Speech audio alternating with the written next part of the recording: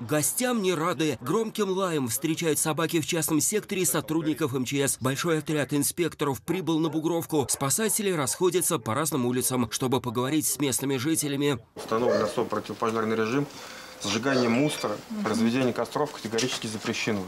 Вы мусор как убираете? В последние дни пензенцы жалуются, что над частным сектором города висит облако едкого дыма. Кто-то из владельцев домов сжигает сухую траву и прочие отходы с огородов. Жители Краснознаменной подтверждают, действительно порой над микрорайоном висит смог, но на их улице несознательных граждан нет. Костры не разжигают.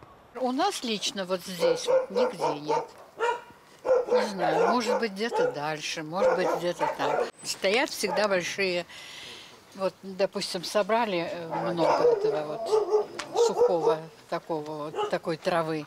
Мы ее собираем в эти и ставим.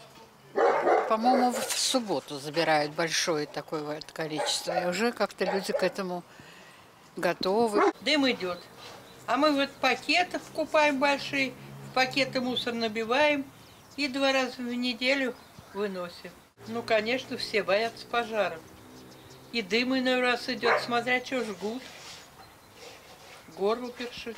Жители другой улицы вторят соседям, но в то же время напоминают, ситуации бывают разные. На все мешков не нахват, не на это не наберешься. На территории региона действует особый противопожарный режим.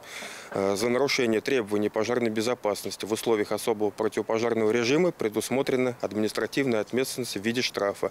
Э, На граждан она составляет от 10 тысяч до 20 тысяч рублей. В этот вечер инспекторы нарушителей на Бугровке так и не нашли. Никто не жег костры. То ли из-за дождя, который прошел несколькими часами ранее, то ли из-за того, что по частному сектору ходит проверка. Об этом местные жители узнали оперативно.